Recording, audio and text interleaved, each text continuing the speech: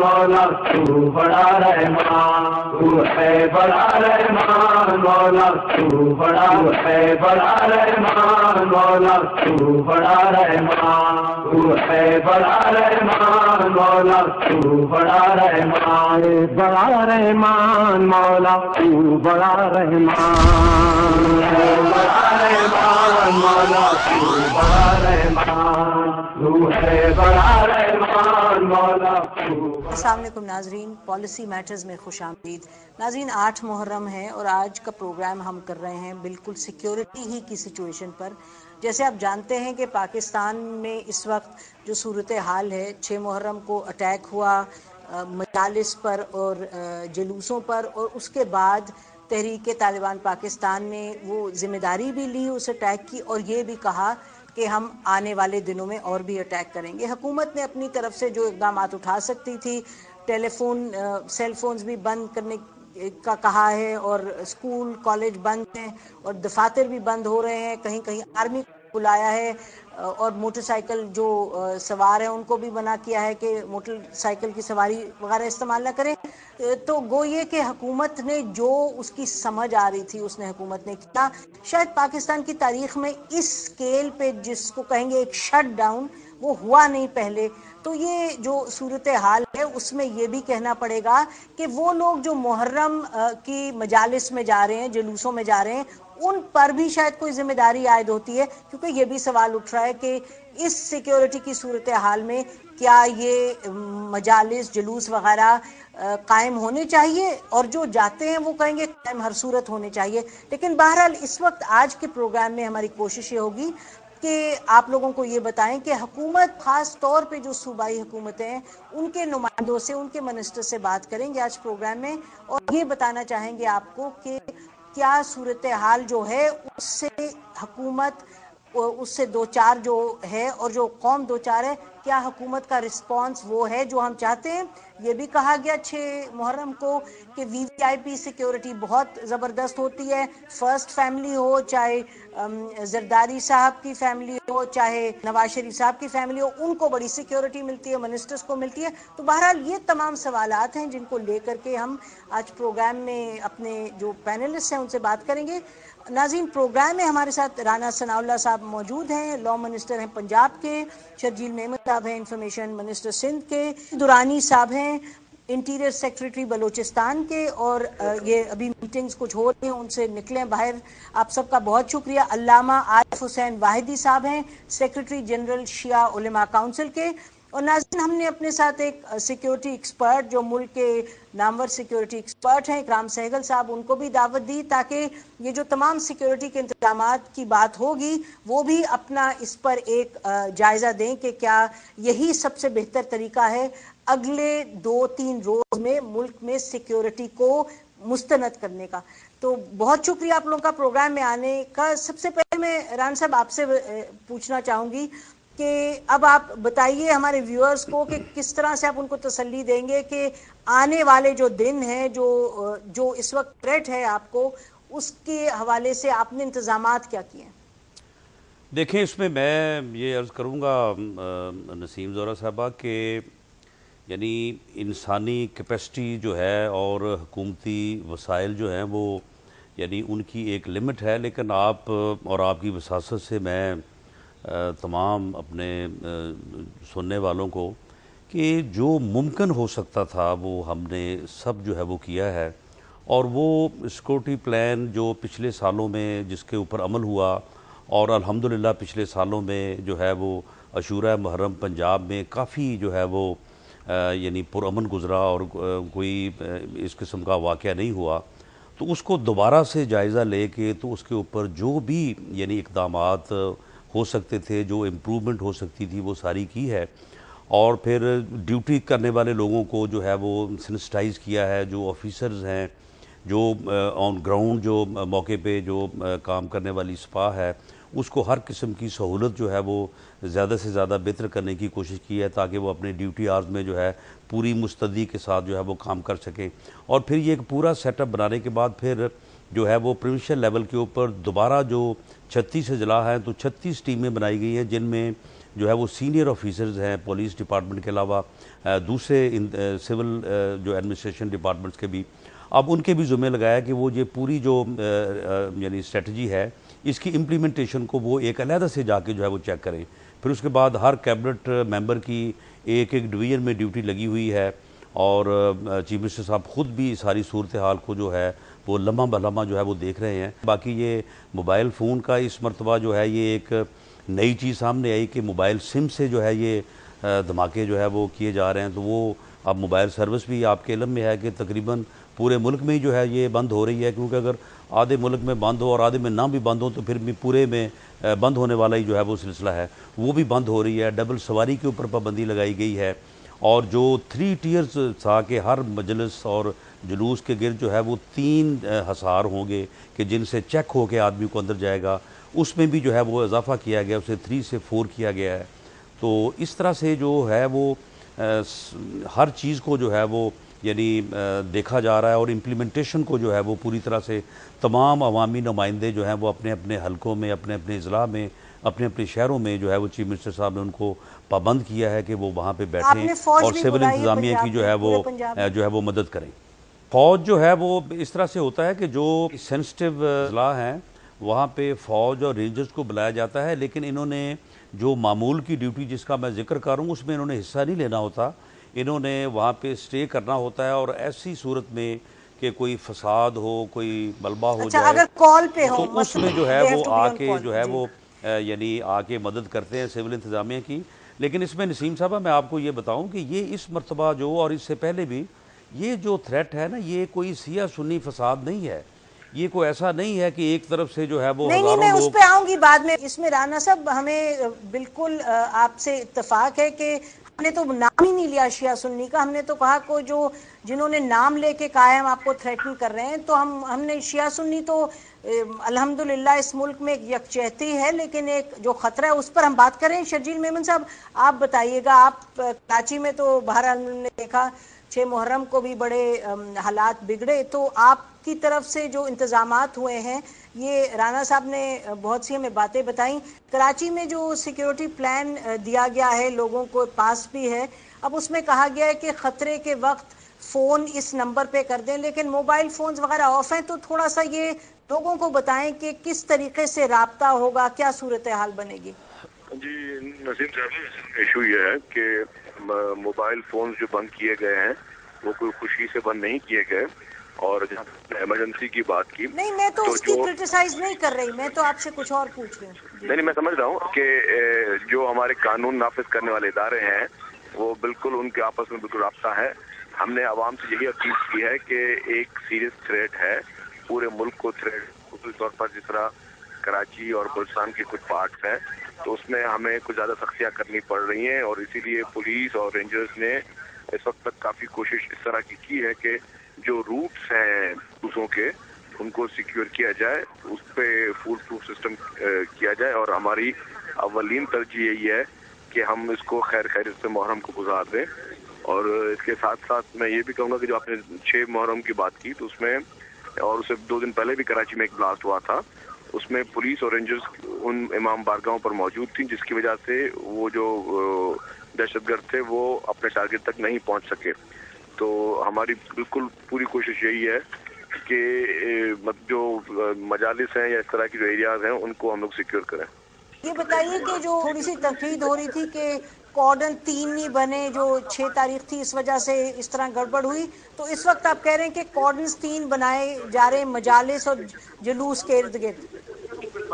जी, बिल्कुल, उसके लिए कोशिशें की गई हैं। एक तो हमने जैमर्स जो भी मौजूद थे शहर में वीवीआईपी सिक्योरिटी के, वो सारे मंगवा लिए हैं।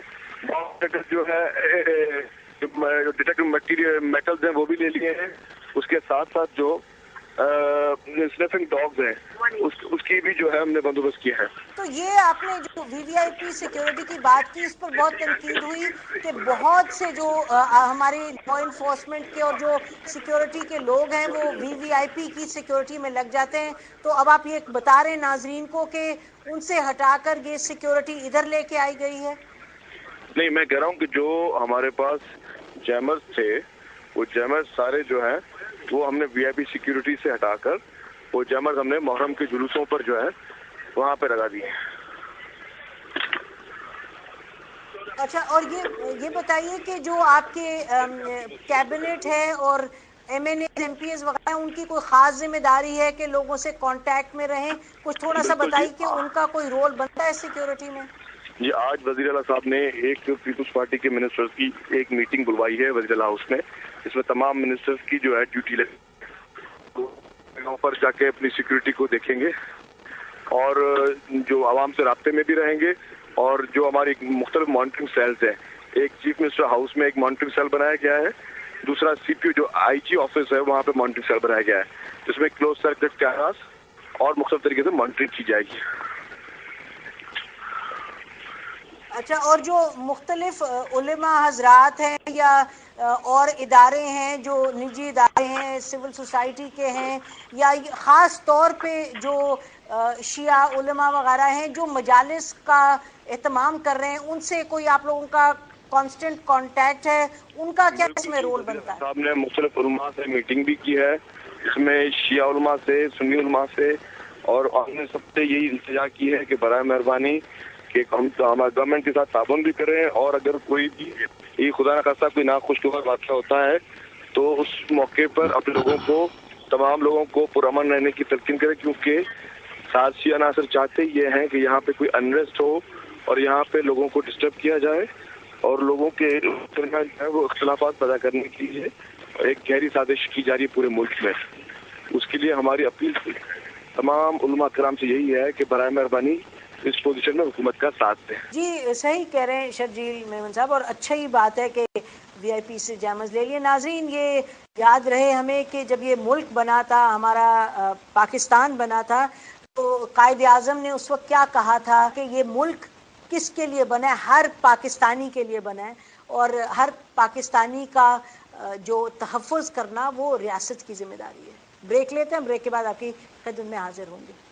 बड़ा रहमान तू है बड़ा रहमान मौला तू। आप आज़ाद हैं आज़ाद रहे। आप लोग इस मुल्क पाकिस्तान में अपनी अपनी इबादत गाहों मस्जिदों या मंदिरों में बड़ा रहमान मौला तू बड़ा रहमान तू है बड़ा रहमान मौला वेलकम बैक नाजरीन नाजरीन आज हम प्रोग्राम कर रहे हैं सिक्योरिटी के जो इंतज़ाम हैं उसके हवाले से। जी नाजीन अब हम बात करते हैं सेक्रेटरी इंटीरियर बलोचिस्तान के हैं। अकबर दुरानी साहब उनसे। अस्सलाम दुरानी साहब। वाह नसीम साहब क्या हाल है? आप खरी से हैं? बस अल्लाह का शुक्र। दुरानी साहब आप बताइए बलोचिस्तान की खैरियत के हवाले से बताएँ अगले दो तीन दिन तो बहुत खास तौर पे खतरनाक हैं। खतरनाक तो नहीं हम कहना चाहते लेकिन धमकी भी मिली है हालात भी बलोचिस्तान के ऐसे हैं और ये जलूस भी निकलेंगे मजालस भी होंगी और इजी टारगेट भी बनते बन सकते हैं लोग इसमें। तो आप आ, हमारे नाजीन को बताइए कि बलोचिस्तान में और ख़ासतौर पर कोयटा वगैरह में क्या आप लोगों ने स्टेप्स लिए हैं? जी बिस्मिल्लाम नसीम जिस तरह बाकी सूबों में मुहर्रम के सिलसिले में इंतज़ाम किए गए हैं इसी तरह कोयटा में भी आ, हमने फ़ूड प्रूफ सिक्योरिटी के इंतज़ाम किए हैं। जहाँ तक बात है कि आपने जो इब्तदाई अल्फाज में इस्तेमाल किए कि जी बहुत हालात ख़राब है ऐसी बात नहीं है। मीडिया परसेप्शन एक अलहदा चीज़ है। अगर एक चीज़ को आप सौ मरतबा दिखाएँगे तो लोगों के जहन में होगा शायद ये ये सौ मरतबा चीज़ें हुई ऐसी बात नहीं है। 2004 से लेके अभी तक 2012 तक कोई ऐसा इंसिडेंट नहीं हुआ जो दस मुहर्रम या नौ मुहर्रम के सिलसिले में हो हाँ अलबत् अलकुद की एक रैली पे हुआ था, जो 2010 का एक वाक्य था। यहाँ जहाँ तक कॉन्टीजेंसी प्लान की बात है तो वजी अला साहब की क्यादत में जब हमारी मीटिंग हुई और उसमें बाकायदा तौर पे कॉन्टीजेंसी प्लान जो अप्रूव किया गया, उसमें तमाम के तमाम जो रूट है हमारा, वो कैमरों से कवर्ड है। जहाँ से जुलूस निकलते हैं और जहाँ पे अख्ताम होगा। और इसके अलावा हमने तीन टीयर पे बनाए हैं, जो पहला टीयर है, जो इनर कॉर्डन है, वो पुलिस का होगा।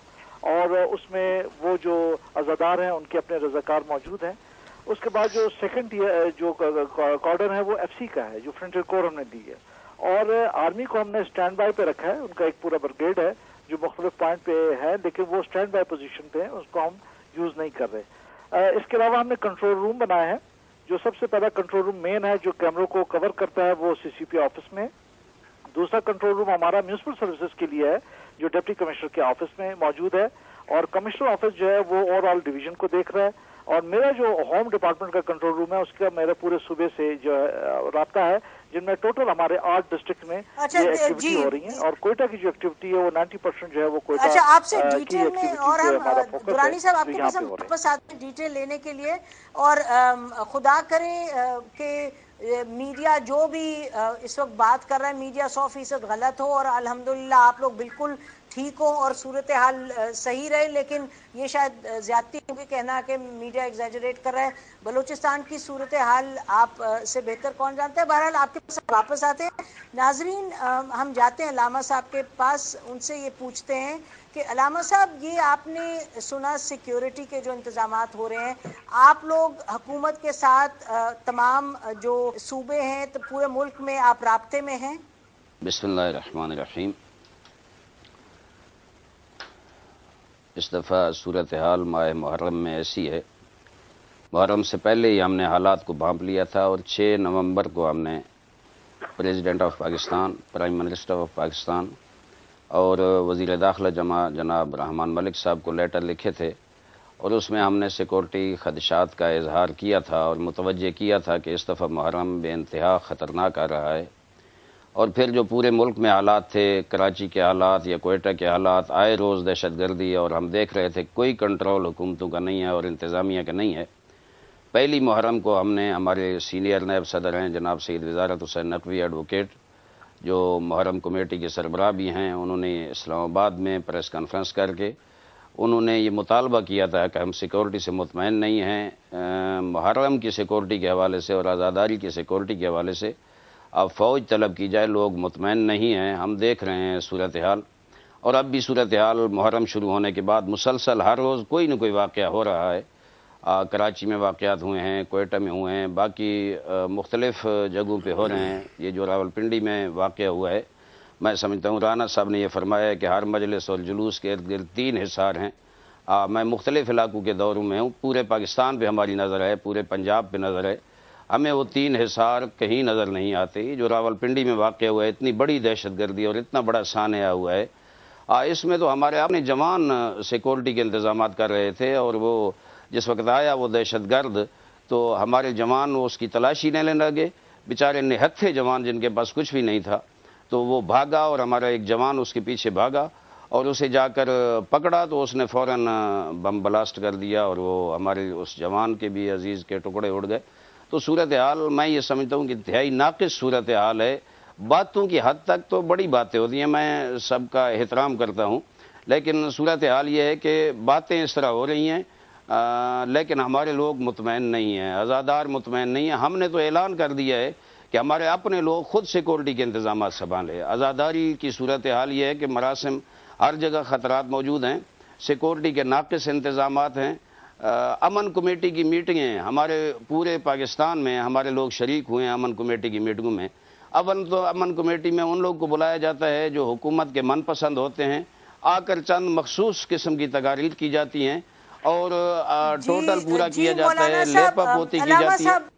जी अलामा साहब अगर आप मुझे इजाज़त दें देखिए किसको अमन कमेटी में बुलाया जाता है, वो अब उस पर हम क्या बहस करें? बहरहाल जो आपने दो तीन सवाल उठाए, मैं राना साहब से बात करूँगी उस पर, लेकिन ये बताइए आप कि ये तो आप मानेंगे कि जब लाखों लोग बाहर निकले, लाखों निकले और जुलूसों में निकले, मजालिस में हो तो सूरत हाल तो रिस्की होती है, यानी कि खतरा होता है।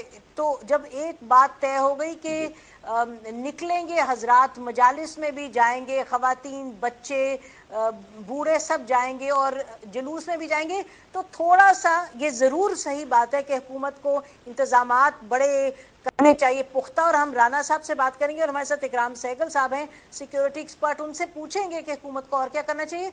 लेकिन मैं ये चाहूँगी थोड़ा सा कि आप ये भी देख लीजिएगा और आप इस पर कुछ फरमाइए कि कुछ ज़िम्मेदारी उनको भी लेनी है जो बाहर निकल रहे हैं। यकीनन ये ईमान का मज़हब का का हिस्सा है सबका हिस्सा है। लेकिन खतरा तो है ना जी एक ज़्यादा खतरे की सूरत बनती है जब लाखों लोग निकलते हैं। तो हम उसको भी उसका भी एहसास कर लें उस पर आप क्या फरमाएँगे? जी बिल्कुल। हम ये समझते हैं कि यकीनन ख़तरात हैं बहुत बड़ा रिस्क है। लेकिन इस मुल्क की सूरत हाल ये है कि ये मुल्क सिक्योरिटी स्टेट बन चुका है। यहाँ फलाई स्टेट हमें तो नज़र नहीं आ रही तसलसल के साथ। और ये जो मरासम आज़ादारी हैं ये कोई आज तो नहीं शुरू हुए बीस साल से। ये सदियों से ये मरासम आज़ादारी शुरू हैं, बड़े पुरान होते थे, बड़ी मोहब्बत की फ़जा होती थी। लेकिन हम ये समझते हैं कि इस मुल्क की सूरत हाल सिक्योरिटी के हवाले से ऐसी बना दी गई है कि इस मुल्क में कोई शख्स अपने आप को महफूज समझता ही नहीं है। और फिर यहाँ मैं एक माजरत के साथ अर्ज़ करूँगा कि क्या वजह है, ये सोचने का मकाम है कि मुहर्रम आ जाता है। आ तो मुहर्रम में मीटिंगें भी शुरू हो जाती हैं, मुहर्रम में ज़ुबानबंदियाँ भी शुरू हो जाती हैं मुहर्रम में पाबंदियाँ लगना भी शुरू हो जाता है। बाकी पूरा साल नामन कमेटियों की मीटिंग होती है। न जनाब उन लोगों को लगाम दी जाती है जो फिरका वाराना ज़ुबान इस्तेमाल करते जी अलामा साहब, आप सही फरमा रहे हैं। ये तो देखिए, वो बात बिल्कुल ठीक है। एक बहुत बड़ा सवाल है कि हालात क्यों बिगड़े, कहाँ पहुँचे? लेकिन ये तो आपको मानना पड़ेगा कि आखिर दाता दरबार भी था, उस पर कभी हमला नहीं हुआ सौ सालों से है। तो मुल्क के हालात तो बिगड़े खाली ये नहीं कि मुहर्रम के लिए बिगड़े हैं, हालात वैसे ही बिगड़ गए दहशत गर्दी की वबा है। लेकिन उसके अंदर रहते हुए हम कह रहे हैं कि इन दिनों में जो करना है हमने। जी बात तो ठीक है अलामा साहब के सूरत हाल संगीन है। बहरहाल हुकूमत अब हम देख रहे हैं वो कह रही है हम कोशिश कर रहे हैं जो कर सकते हैं।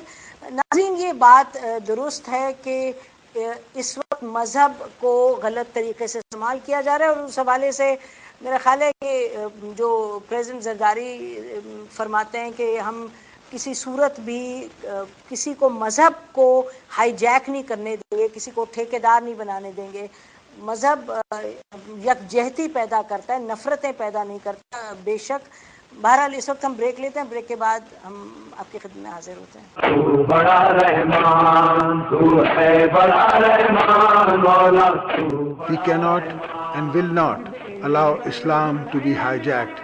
We will fight for our values. We will fight for the spirit of the great religion, great religion the Holy Prophet, peace be upon him, gave to us. तू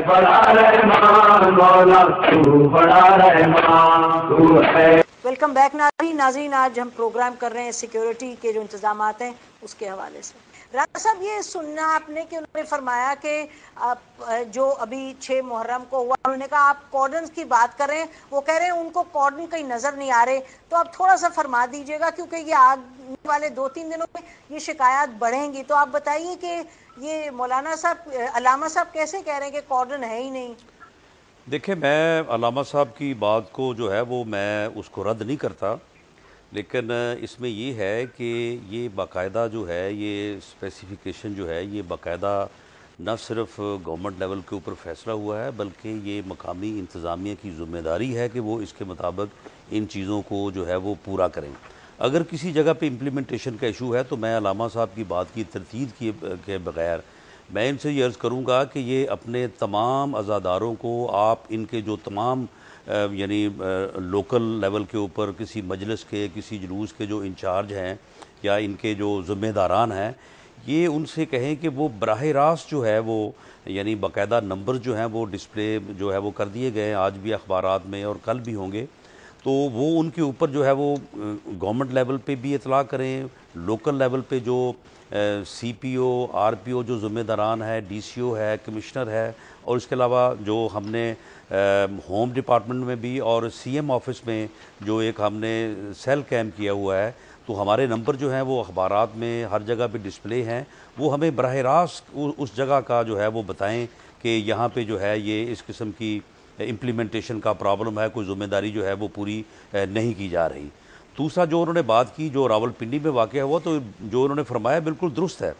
कि वहाँ पे यानी लोग चेकिंग पे मौजूद थे, वहाँ पे पुलिस भी मौजूद थी रजागार भी मौजूद थे और अज़ादार भी मौजूद थे और यही वजह है कि छः पुलिस मुलाजमीन जिनमें एक रजाकार भी है, वो भी इस, यानी उस खुदकुश हमलावर को वहाँ पे चेक किया गया उस, यानी सिक्योरिटी चेक पॉइंट के ऊपर, हसार के ऊपर और जब वो चेकिंग की वजह से भागा तो फिर उसके बाद उसने जो है वो धमाका किया और उसमें छः पुलिस वाले भी जो है वो ज़ख्मी हुए हैं। और बाकी जहाँ तक उन्होंने मीटिंग्स की बात की है तो साहब आप जी। जो उन्होंने मीटिंग की बात की है तो उसमें यह है कि हमने तो हमेशा पूरा साल भर जो है वो शिया से भी और दूसरे मसाले के से भी रबता रखा है और चीफ मिनिस्टर साहब ने जो मीटिंग की है उनमें इनके मसल के इंतहाई मोतबर नाम जो है वो वहाँ पे मौजूद थे और उनकी रहनमाई में जी, और अच्छा उनकी जो तो है वो ठीक है होती रहेंगी। ये राणा साहब, ये अलामा साहब ने कहा कि, इन कि वहाँ कोई थी नहीं सिक्योरिटी और हमारे अपने बच्चे ने खुद कुछ बम्बार था उसको पकड़ा। लेकिन बहरहाल नाजीन ये हम ज़रूर कहते चलेंगे कि हम आफरीन हैं उन पुलिस वालों पर, उन रजाकार पर, उस उन लोगों पे जो एफसी के लोग हैं, जो हमारे सिक्योरिटी के लोग हैं, जो खड़े होते हैं, इन जुलूसों पर पहरा देते हैं, जो साथ चलते हैं, उनको मालूम है कि वो अपनी ज़िंदगी पर खेल कर ये अपनी ड्यूटी अदा कर रहे हैं, लेकिन बहरहाल ख़तरा बहुत बड़ा है, लेकिन इस वक्त मुतहद होने की ज़रूरत है और देखना है कि इसको बेहतर तरीके से कैसे कर सकें। इकराम साहब, बहुत शुक्रिया, आप बहुत देर से हमारी सबकी गुफ्तु सुन रहे हैं। मैं चाह रही थी कि सब बात करें तो फिर आपसे हम पूछें कि ये सूरत हाल सब आपके सामने है। हुकूमतें जो मुख्तलिफ़ प्रोविंसेस की बात की है, खैबर पख्तूनख्वा में भी हम जाएँगे, थोड़ा सा आपसे सुन लें। कि आपका क्या इस पर तजिया? आप क्या कहेंगे कि जो मुमकिन है वो किया जा रहा है? देखिए मैंने बड़ा गौर से सुना है राना चावला साहब की बात शजीद मेमन की बात अब्दुल्लानी साहब की बात। अ, जो ये जो प्रोविंशियल लेवल पर लॉ एंड ऑर्डर जो होता है ये प्रोविंस का होता है और इनके पास एबिलिटी है जिनके पास पोटेंशियल है और इनकी इसमें कोई शक नहीं है कि अपनी ज़िम्मेदारी ये निभाने की कोशिश करें। और मैं इसमें कोई वो नहीं देता। देखिए डिफरेंट लोगों ने बताया, मेरी कंट्रोल रूम में इधर है।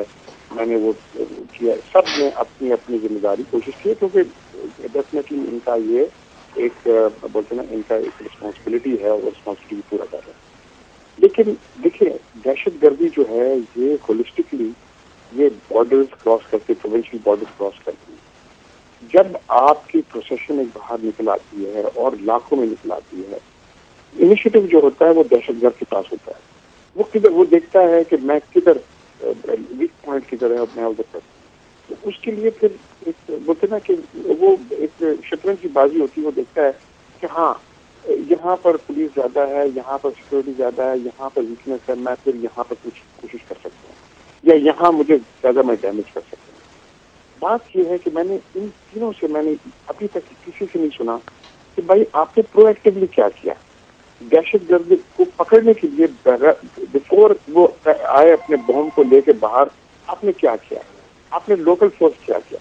देखिए, हर जगह, हर लॉ एंड ऑर्डर फोर्स के साथ एक एंटी टेररिस्ट फोर्स ज़रूर है। इनके पास पंजाब में भी है, इनके पास सिंध में भी है, और कोटा में भी, बलूचिस्तान में भी। बड़ा, और मैं बोलता हूँ कि इन्होंने काफ़ी सेक्रीफाइसेस दिए और काफ़ी काम किया लेकिन इनके पास पोटेंशियल और कैपेबिलिटी नहीं है जो होनी चाहिए काउंटर टेररिज्म फोर्स के पास।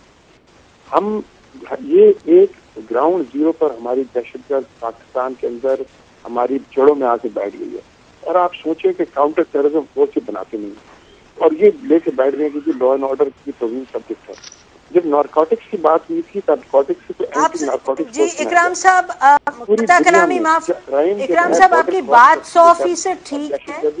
Border cross करती नहीं, आपकी तो बात सौ फ़ीसद ठीक है। इसके लिए आपने ज़रूरी है कि एक काउंटर टेररिज्म फोर्स कायम रहे। और जब तक आप ये फेडरल लेवल पर अच्छा मुझे ये बताइएगा इकराम साहब काउंटर टेररिज्म फोर्स की बात आप बात करना सही फरमा रहे हैं। बंद कर दिया हमने मोटरसाइकिलें बंद कर दी ये सब रिएक्टिव बातें हैं। आपने प्रोटेक्टिव बातें हैं। आपने पहले जाके उन दहशतगर्दों को निकालने की क्या बात की है उनको पकड़ने की क्या बात की है उनको अपने उनकी एक्सप्लोसिव बंद करने की क्या बात की, उनकी मनी लॉन्ड्रिंग खत्म करने की क्या बात की है, उनकी जो लॉजिस्टिक्स है वो खत्म करने की क्या बात की, उनकी सेफ़ हाउसेज को आपने किधर जाके अटैक किया? इनके पास काउंटर टेररिज्म के पास प्लान ही नहीं है और हो ही नहीं सकता। ये हो ही नहीं सकता क्योंकि फेडरल लेवल पर ये बिल्कुल नाकाम है। ये फेडरल लेवल पर आई एम सॉरी टू से रहमान मलिक साहब साहब से कोई नहीं है। रहमान मलिक साहब बातें बहुत करते हैं। रहमान मलिक साहब यू नो ग्रैंड स्टैंडिंग बहुत करते हैं और कहानियाँ बहुत बोलते हैं लेकिन कैपेबिलिटी नहीं है कि एक होलिस्टिकली एक काउंटर टेररिज्म फोर्स बनाए जो इनको सपोर्ट करे।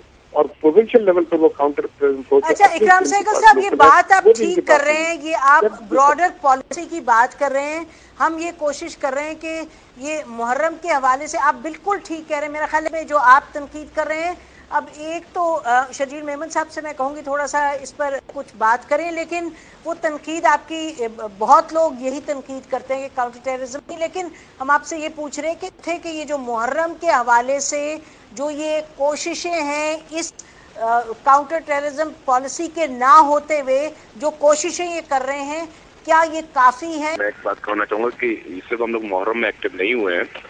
ये अगर आप देखेंगे कि जो दहशतगर्दी के लिए दहशतगर्दी के खिलाफ जो भी इकदाम गवर्नमेंट ने उठाए हैं, उसमें अभी की बात नहीं और मतलब सराउंड द ईयर मुख्तलिफ़ अवकात पर, मुख्तलिफ़ टाइमिंग पे इंटेलिजेंस नेटवर्क थ्रू जो है, वो मुख्त लोगों को गिरफ़्तार किया गया, जिनसे बारूदी मवाद भी मिला, जिनसे जो खुदकश जैकेट्स भी मिले। तो जब भी हमें इंटेलिजेंस को कोई इस तरह का कोई इन्फॉर्मेशन होती है, तब जो है वो पुलिस और जो दीगर फोर्सेज है, वो कार्रवाइयाँ करती हैं। एक और बात मैं कहना चलूँगा कि हमारे मुल्क का नाम है, अलहमदुल्ला, इस्लामी जमहूरिया पाकिस्तान। अब ये बात एक बिल्कुल हकीकत है और ये बात किसी से छुपी हुई नहीं है कि यहाँ पे सोची समझी साजिश के तहत लोगों को लड़वाने के लिए यहाँ पे इस तरह के काम किए जाते हैं और कुछ इस तरह के एलिमेंट्स हैं जो कि चाहते हैं कि यहाँ पे अनरेस्ट हो और वो अनरेस्ट करने के लिए शर्जील साहब हुकूमत का काम है ना कि उन एलिमेंट्स को पकड़े देखें। ये तो दुनिया में हर जगह होता है और हमारे यहाँ यकीनन ज़्यादा है। लेकिन मतलब वो तो सब जानते हैं मसले को।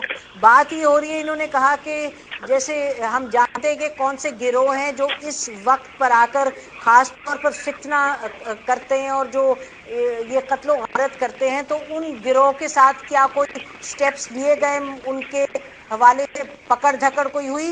मेरा ख्याल है ये सवाल है इकराम साहब अगर मैं साहब अगर मेरी बात आप कंप्लीट होने देती तो मैं अगर, मेरी बात आप कंप्लीट होने देती तो आप पूरी बात समझ जाती। मैं यही कह रहा था कि हमारे अच्छा, मुल्क का नाम है हाँ मैं ये कह रहा था कि हमारे मुल्क का नाम है जमहूरिया पाकिस्तान। लेकिन अफसोस की बात यह है कि साथ साथ जब हम ईद की नमाज़ पढ़ने जाते हैं बारह रफी अवल का कोई जुलूस हो या मुहर्रम राम का कोई जुलूस हो वहाँ पे वो एलिमेंट्स जो कि चाहते ही हैं कि यहाँ पे मजहबी तफरका पैदा हो, वो एक्टिव हो जाते हैं। तो यही है कि एक माइंड सेट है इस वक्त जो लड़ाई चल रही है, वो उस माइंड सेट के खिलाफ चल रही है, जो कि बाकी दिन खामोश होते हैं और सिर्फ़ मजहबी त्योहारों पे जो है या मजहबी कोई बड़े दिनों में वो आके अपने इस तरह की कार्रवाइयाँ करते हैं। दूसरी बात ये है कि कोशिश हमारी हमेशा ये रही है कि उन दहशतगर्दों के नेटवर्क को खत्म करें, लेकिन जो हम लोग हमेशा बात करते आए हैं और मीडिया ने हमेशा उसको शायद मज़ाक समझा या लाइटली लिया है जो हम तीसरी कुत है बिल्कुल इस तरह के ममालिक हैं जो कि पाकिस्तान को डिस्टेबलाइज करने के लिए उन्होंने इस तरह के लोग यहाँ पे पेट्रोनाइज किए हुए हैं जो कि इस तरह की बनाते हैं साहब जरा थोड़ा सा मुहर्रम पर वापस आ जाएँ। देखिए ये ब्रॉड बात है मैं इस पर हम तो कोशिश कर रहे हैं कि नाजरीन को इस प्रोग्राम की वसात से बताएँ कि उनको हौसला दें और उनको बताएँ कि क्या वो कर सकते हैं। किधर उनको जाना चाहिए? आप लोग क्या इकदाम उठाते नाजिन, सिक्योरिटी में बहरहाल मुख्तलिफ़ इदारों का रोल होता है और फ़ौज का भी हम देख रहे हैं, इंटरनल सिक्योरिटी में बढ़ता हुआ रोल है जो दहशत गर्दी है उसको मद्देनज़र रखते हुए। और उस हवाले से जनरल कैनी ने भी योम आज़ादी की जो तकरीर की, उसमें इस बात की निशानदही की कि दहशत गर्दी कितना संगीन मसला है पाकिस्तान के लिए। इस पॉइंट पर हम ब्रेक लेते हैं। ब्रेक के बाद आपकी खबर में हाजिर होते हैं। तू बड़ा रहमान तू है बड़ा रहमान मौला अगर मैं अपनी नाकिस और नामकमल राय को हर किसी पर मुसलत करने के लिए बंदूक का सहारा लेता हूँ तो वो दहशत गर्दी।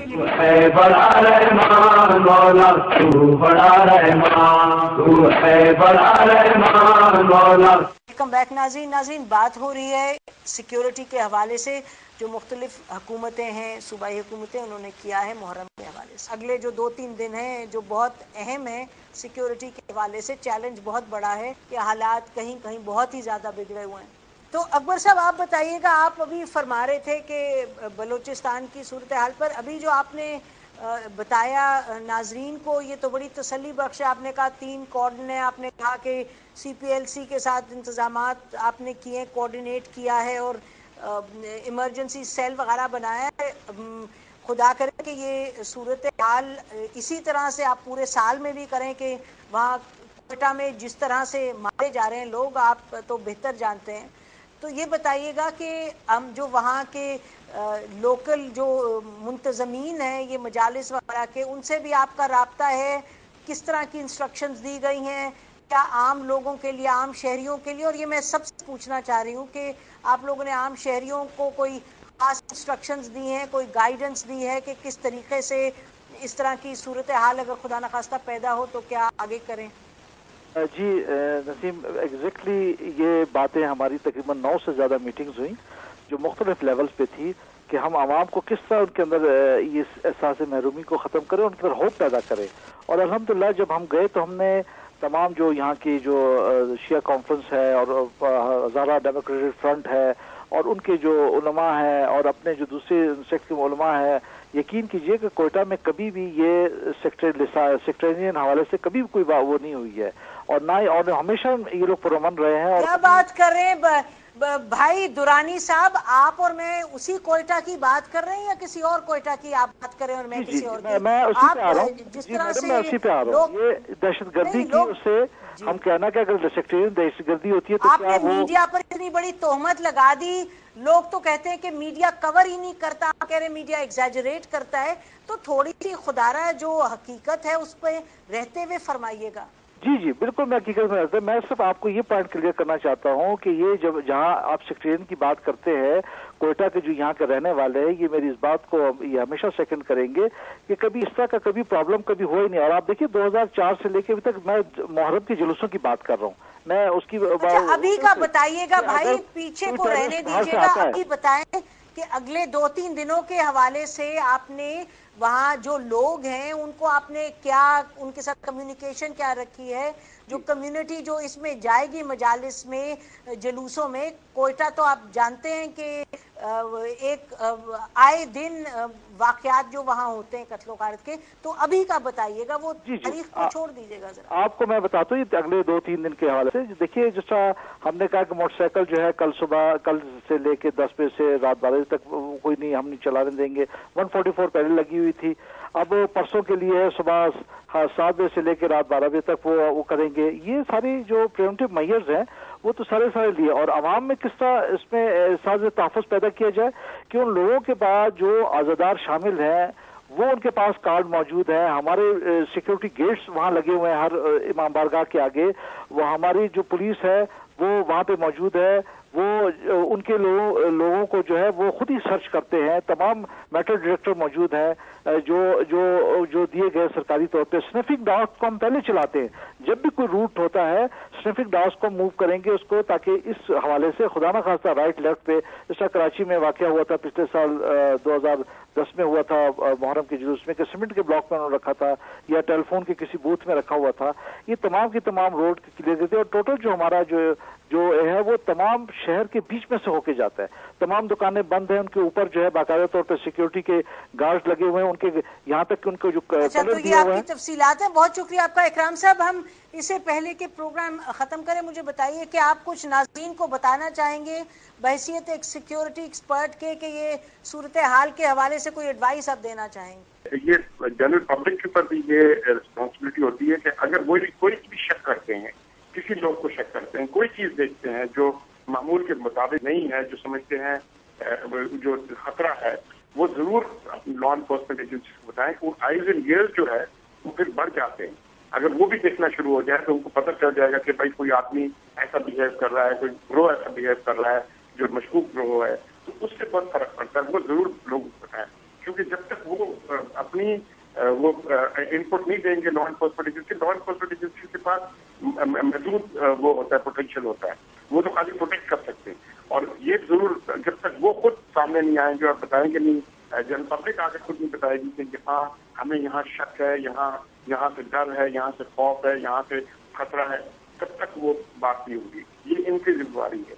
अच्छा राना साहब, इससे पहले कि हम प्रोग्राम खत्म करें, आपसे हम यही सवाल करेंगे आखिरी के आपने सुना कि लामा साहब किसी हवाले से तो वो हद तक हमने ये सुना कि लामा साहब शिकायत कर रहे थे। उन्होंने कहा कि वो जो कोऑर्डिनेशन है सपोर्ट होनी चाहिए वो नहीं है। तो आप ये बताइए कि क्या आप कुछ और इकदाम उठाएँगे? क्योंकि बार बार यही हम कहेंगे कि बड़े हसास दिन है। आगे तीन जो दिन आने वाले हैं तीन चार दिन तो उस पर आप क्या इकदाम उठाएँगे? ये बताइएगा ज़रा नाजरीन को हमारे इससे पहले कि हम प्रोग्राम ख़त्म करें। देखिए, एक तो मैं ये अर्ज़ करूँगा कि अलामा साहब ने जो यानी कोऑर्डिनेशन में कोई और ज़्यादा बेहतरी की बात की है तो मैंने उनसे ये अर्ज़ किया है कि वो जहाँ कहीं भी वो समझें कि जो सिक्योरिटी यानी स्ट्रेटजी है या प्लानिंग जो उनको मैंने अर्ज़ की है कि अगर किसी जगह पे कोई इम्प्लीमेंटेशन में कोई कोताही है तो उनके जो ज़िम्मेदारान हैं वो भी हमें जो है वो आगाह करें ताकि उस कमज़ोरी को जो है वो दूर किया जा सके और ये जो भी तजावीज़ इस सिस्टम में इनके पास हैं हम इनसे ख़ुद रबता करके तो ये हमें बताएँ हम उनके ऊपर अमल करने को तैयार हैं। बाकी जहाँ तक इकराम सैगल साहब ने बात की है मैं बात की कि मैं उसके ऊपर आना चाहूँगा। सैगल साहब ने बात की है कि प्रोएक्टिवली जो है ना वो हुकूमतें क्या कर रही हैं। देखें, बात यह है कि पंजाब में जितने भी खुदकुश धमाके हुए हैं, उनमें जितने भी खुदकुश बम्बार के जिनके बॉडी पार्ट्स मिले हैं और उसके बाद उनके डीएनए टेस्ट हमारे पास मौजूद हैं, उन सब का तल्लक जो है वो वज़ीरस्तान से है। वज़ीरस्तान में सेफ़ हेवन्स हैं, वहाँ पे कैंप बने हुए हैं, वहाँ पे ट्रेनिंग्स हो रही हैं, वहाँ से लोगों को प्लानिंग करके भेजा जा रहा है।